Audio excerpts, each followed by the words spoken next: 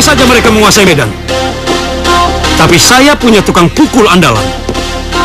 Dan saya punya petugas keamanan yang terlatih. Kamu tahu? Kamu ini adalah gadis yang cantik. Dan tempatmu yang layak adalah di sini. Kamu akan menjadi wanita terhormat bersamaku. Bersama Tunggul Amatung.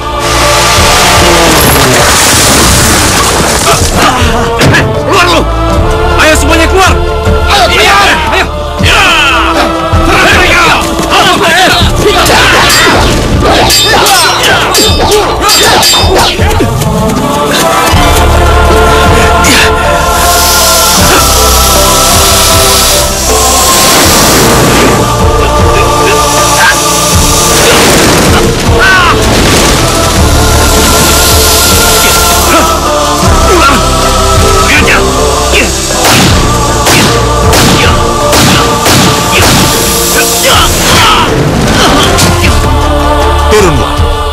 Biar nanti aku jelaskan kenapa kamu harus kemari. Ah, saya punya rumah sendiri. Anakku, kalau kamu pulang, kamu akan menemukan rumahmu yang sudah menjadi abu.